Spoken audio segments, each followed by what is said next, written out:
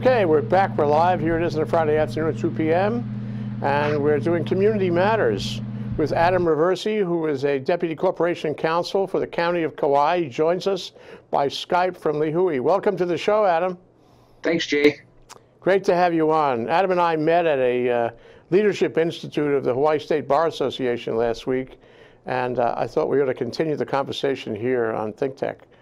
Uh, so we talked about what we could what we could learn from Adam in terms of his experience as a, deputy uh, uh deputy corporation counsel in Kauai, and we settled on a paper that he wrote about uh, Wainiha, Wainiha Land Hui in Kauai, which is a very interesting story dating way back into the early early days of the 19th century.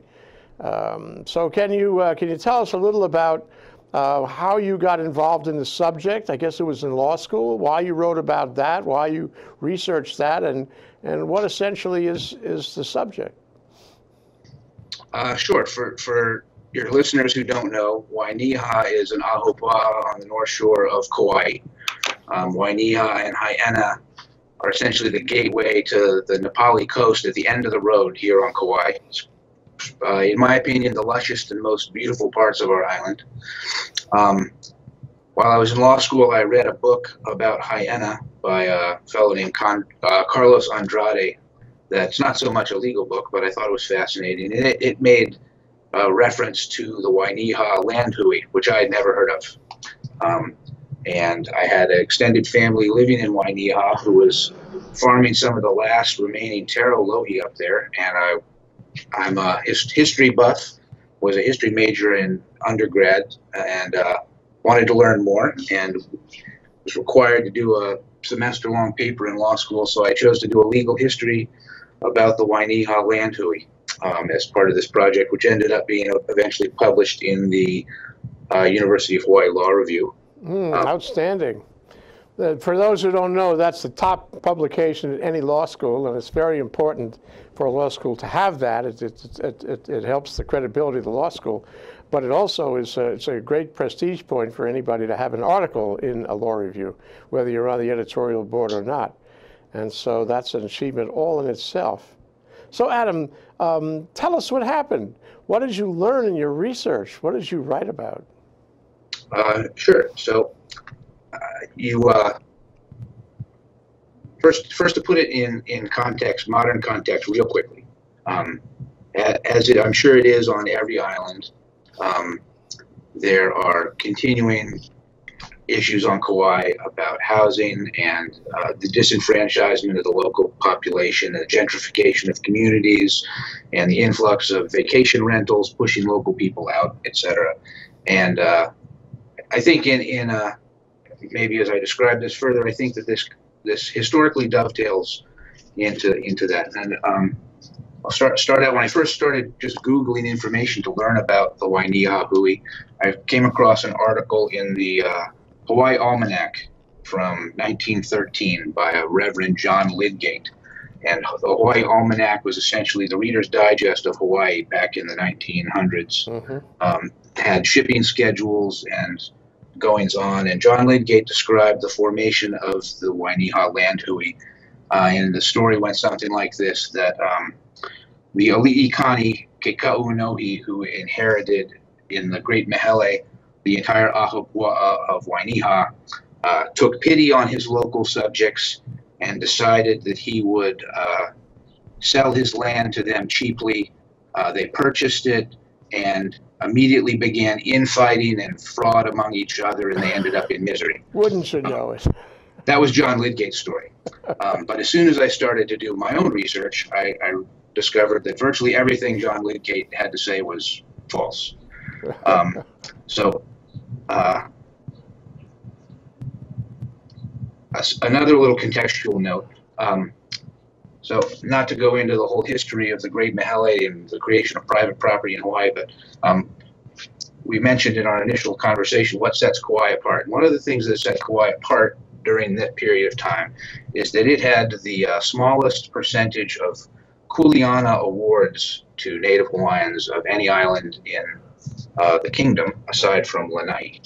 Um, so Kauai Kauaians were largely left out of this new private property regime uh, when Kuleana lots were awarded to tenants of the land.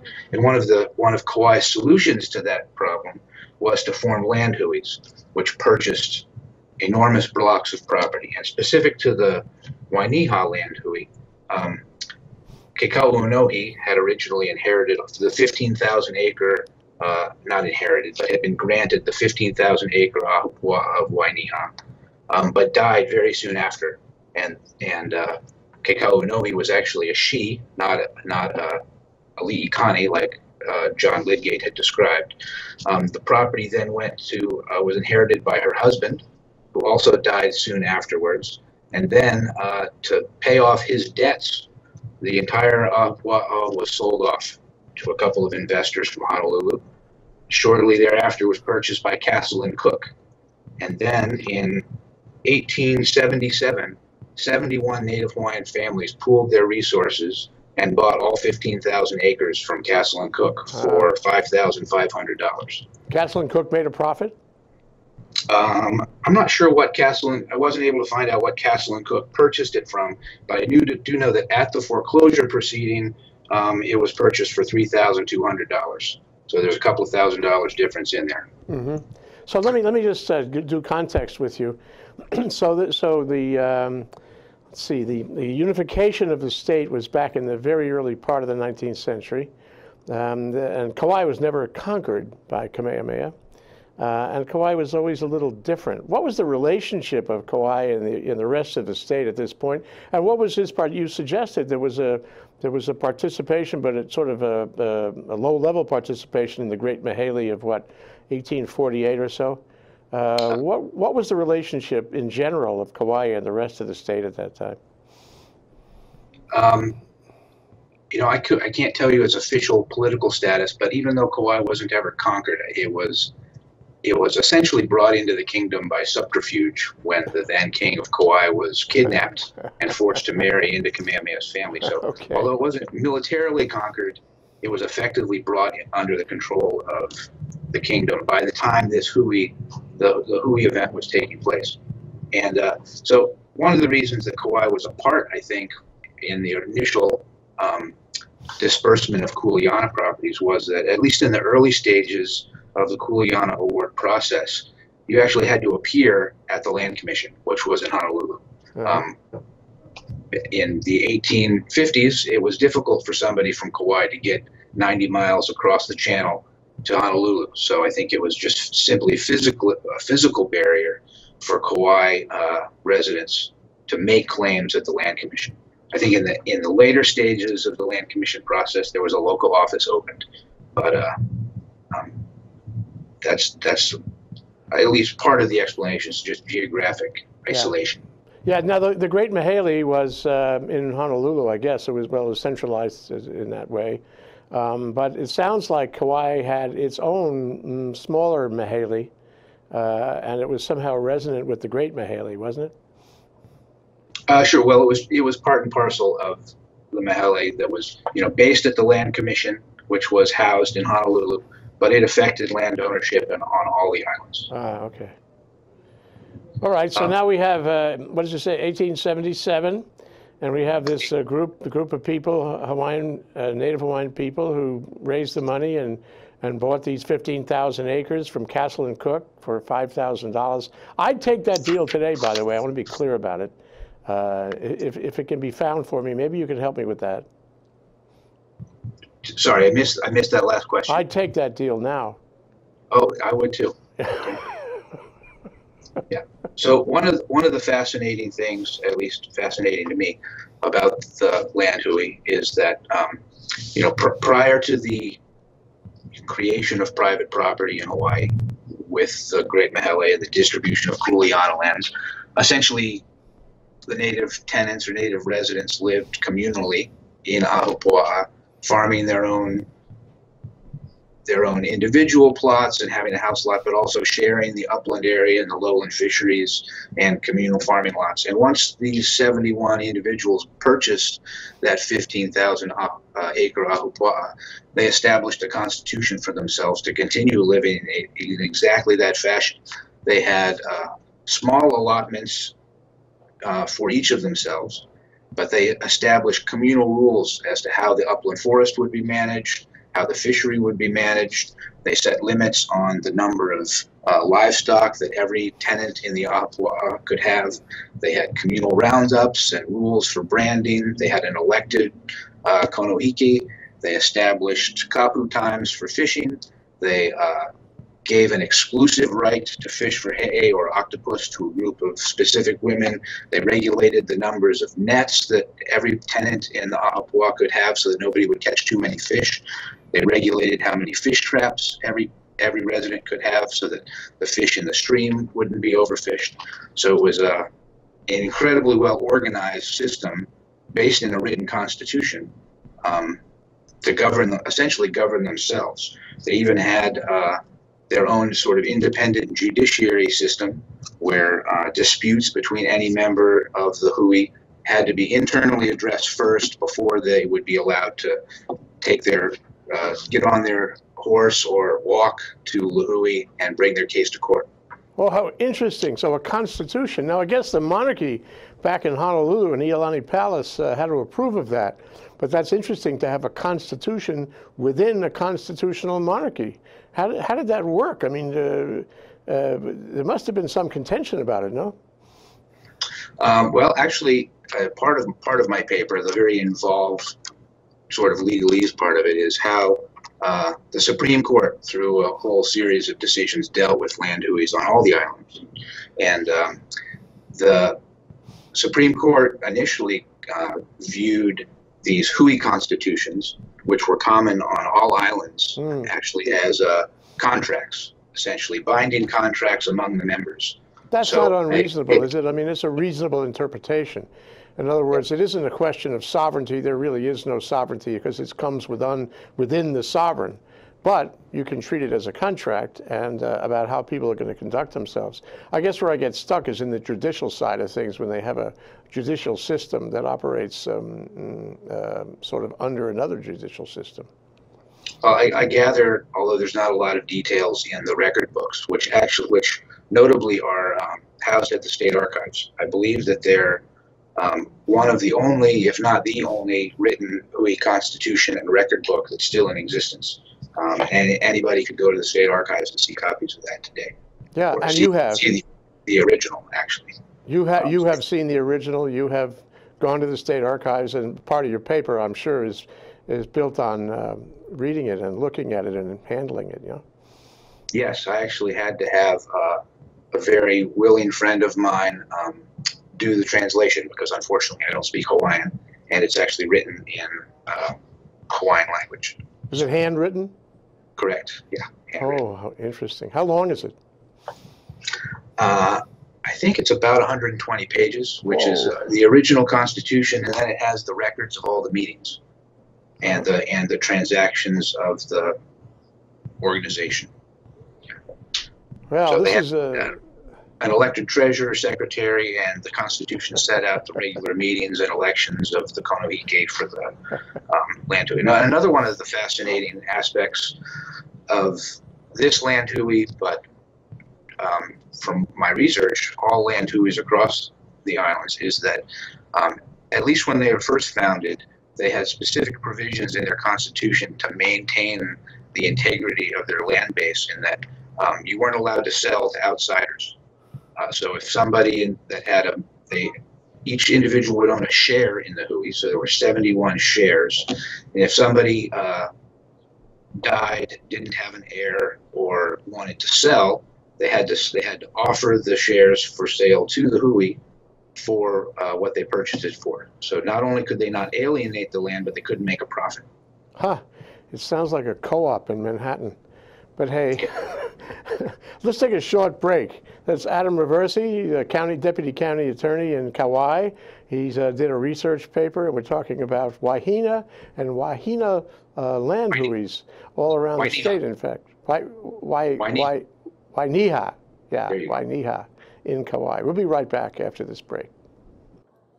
Hi, I'm Carol Cox. I'm the new host of Eyes on Hawaii. Make sure you stay in the know on Hawaii. Join us on Tuesdays at 12 noon. We will see you then. Aloha.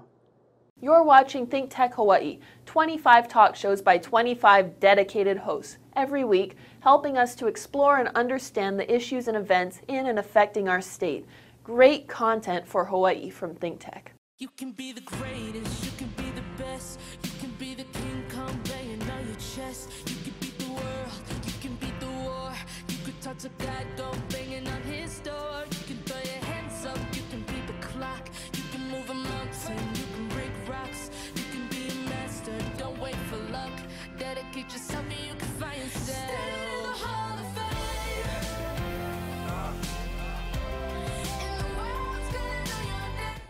Okay, we're back. We're live with Adam Roversi, a deputy county attorney in Kauai, talking about some research that he did on Wainiha Valley in Kauai and the Wainiha land hui, um, not unlike a number of land huis that existed in the 19th century. So, Adam, uh, as we left it, uh, these families uh, successfully operated under that land hui for a while. But over time, you know, I'm, I'm only guessing here, but we don't have that anymore. What happened to it? Sure. Yeah, they, they actually persisted for almost 100 years until 1947. So there was a, there was a, a couple of things that came together to, to, to for the death knell of the Wainiha Hui, but for Huis all over the entire uh, state or then kingdom. Um, so and they they arose from uh, a series of Supreme Court decisions. So the very first decision involved uh, deciding whether these Huis were tenancies in common or joint tenants or joint tenancies. Those are two legal phrases, but the the practical um, effect is that if if something is a tenancy in common and an owner dies, the uh, ownership interest passes to their heirs. If something is a joint tenancy and the owner dies, then the ownership interest reverts to the other owners. Mhm. So um, the court in 1886 decided that land huis were tenancies in common, which mean whenever a hui, which meant that whenever a hui member passed away, their ownership interest would go to their heirs. Um, and that what that decision did is it quickly fractionalized the in ownership in land huis, the Wainiha hui specifically, but all land huis across the state. So instead of having 71 members within a generation or two, you quickly have hundreds, if not thousands. The old of- story, and, and nobody, well, I guess, uh, had, had one of those members had a will which uh, disposed of that property to, say, one person or two, uh, you wouldn't have this fragmentation. But I guess nobody had a will in those days. There weren't enough lawyers around, eh? No, and that, that didn't seem to be a tradition among the Native Hawaiians to do wills. Um, and a, a second decision. So as I as I mentioned earlier, originally the Supreme Court viewed Hui constitutions as binding contracts um, that fit in with Native Hawaiian traditional and customary practices. So the court took a very positive view of Huis, and actually their decisions really supported their rights to self-governance and to govern themselves and to control their members. Um, in the early 1900s, a new Supreme Court, all appointed after the overthrow of Queen Liliuokalani, took a much different view of the Huis and essentially decided in, in two, two different court cases, ultimately the Ma'alo case, that the land Huis were legally not recognizable entities. They were just collections of individuals that had their own rights. So, uh, with that Supreme Court decision, the land hui could no longer stop its individual members from selling off their portions Oh, of the, or could no longer control the fragmentation of their land. Um, that's interesting because today, right now, in 2017, you can do that. You can make a co-tenancy agreement and have exactly the same effect. But I guess they weren't in the mood to uh, help perpetuate the land huis back right after territoriality. So that that then led to uh, the Partition Act of 1923, which allowed, uh, just as an abstract example, if a piece of property were owned by a 100 individuals and one individual wanted to sell, he could force the partition of the property in order to get his money out. Mhm. Um, that paralleled one other important fact for Wainiha.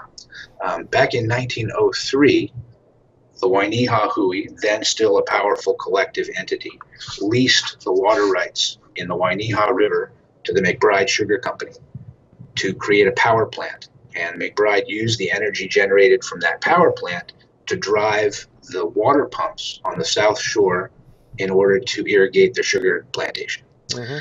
Um, so that was in 1903. The Hui granted McBride a 50-year lease to the water rights in the Wainiha stream. For a generator, a, a, hyd- a hydropower generator, which I think still exists, no? It does. It's still there today, still generating power for KIUC. Amazing. Um, so that was a 50-year lease. Right after, shortly after the Malo case that I mentioned, that's that's uh, just determined that the individual share, the individual sales could not be stopped by the Hui. McBride Sugar began buying up shares in the Wainiha Hui, um, and by uh, the 1940s, McBride had had managed to accumulate uh, nearly 50% of the Wainiha Hui shares that were outstanding. hmm And a matter of only four or five years before their lease to the water expired, they instituted partition proceedings uh, in court here on Kauai to divide up Wainiha Valley um, into multiple discrete parts. Um, and So the idea was that they could, because they held certain parts, uh, they could call for the separation of the land, their part and the parts of everybody else. Uh, that must have been a pretty scraggly boundary. Um, it, it was quite an involved proceeding. The court record here on Kauai, which I've actually gone and looked at on microfiche, is four or five hundred pages of details. Um, but the, the end result was that in 1947, the Wainiha Hui that had been established way back in 1869 was forced, forcibly broken apart through this judicial proceeding. Um, the, the practical end result was that the lower valley, which is closest to the ocean, was divided into 250 house lots, which were given or sold to the then residents of the area. Mhm. And the upland 10,000 acres of Ahupua'a all became private property of McBride Sugar, along with the power plant and water rights to Wainiha River. Mhm. And of course, McBride was already in the sugar business by then, but uh, when it confirmed title, it probably uh, expanded its uh, sugar operations, no?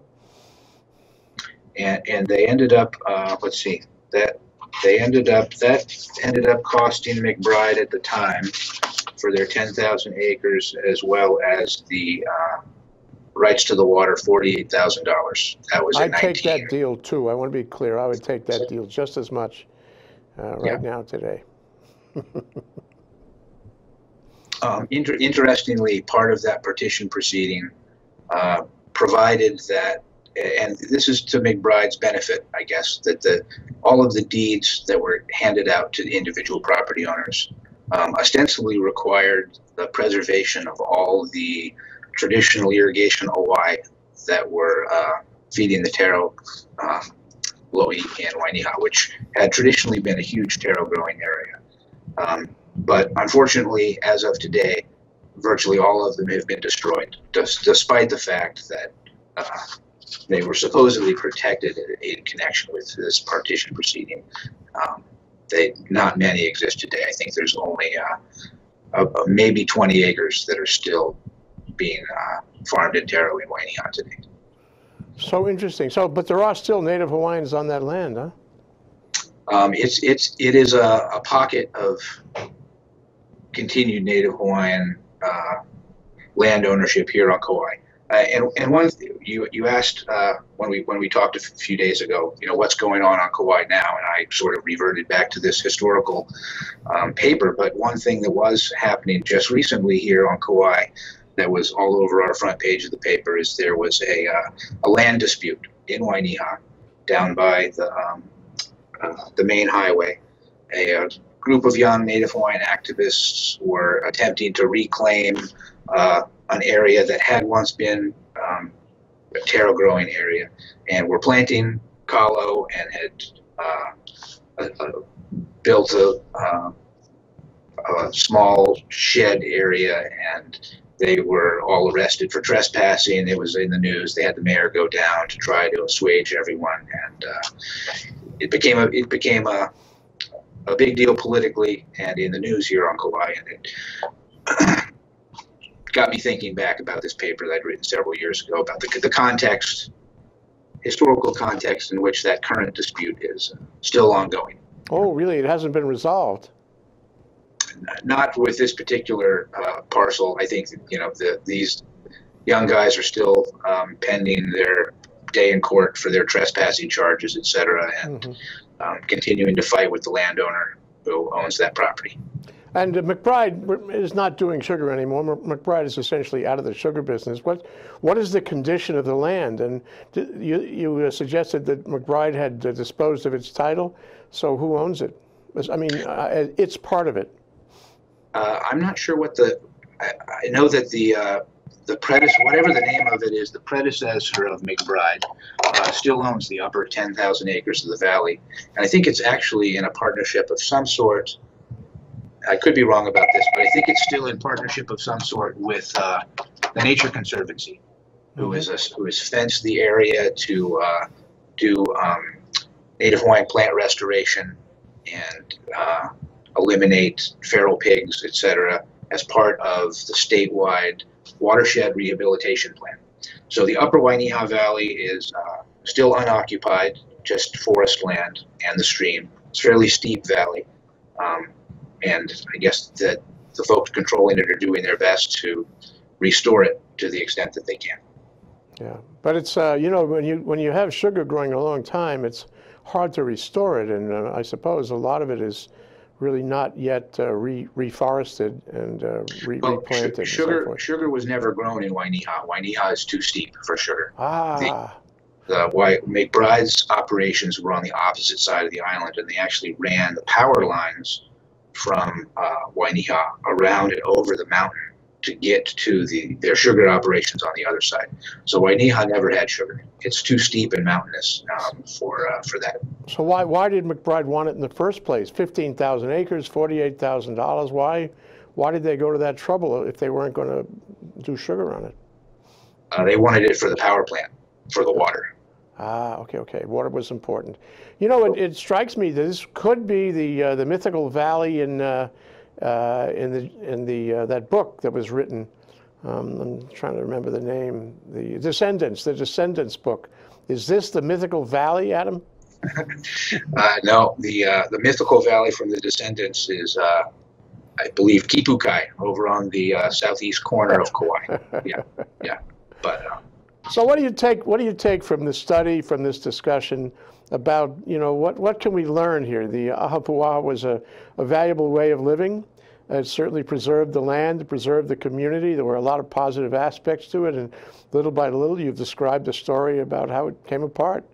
Um, but what, what do you take from it? You studied it, you spent the time, you did the research. What do you learn from it?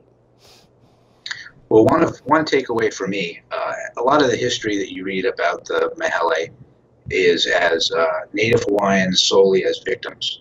You know, this thing happened to them, was imposed on them, and everything was downhill from there.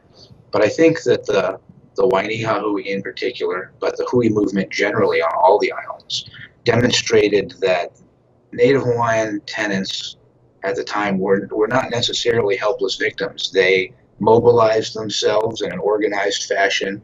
They used this new regime of private property to buy large blocks of land to continue living the way that they had lived. Um, and they were they were able to successfully do so for quite a while until the law and modernity caught up with them. But uh, it, for me at least, changed the predominant story that I learned about the Mahele and um, you know uh,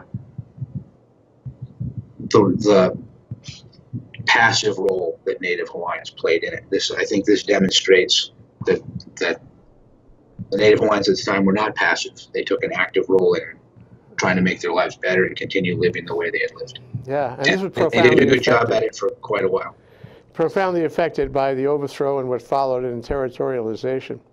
So uh, very interesting. If I wanted to learn more, if I wanted to read your article, where would I look? Um, I think that the uh, University of Hawaii Law Review is available online via the university's website, and I'm I'm not sure if you actually have to pay something or if it's for free. It's been a long time since I've looked, but uh, I'd also be I'd also be happy to share copies of it um, to people by email. I don't know if giving out my email is a good idea or not. Do you, do you do that? Sure you can. Sure. So it's just my name, Adam Roversi, which is R O V like Victor E R S I, at gmail.com. And I'd Thank be you, happy to send anybody a PDF of the paper. Thank you, Adam. Wonderful to talk to you. Thank you so much for joining us today. It's been a great discussion. I appreciate it. Thanks for having me. Aloha.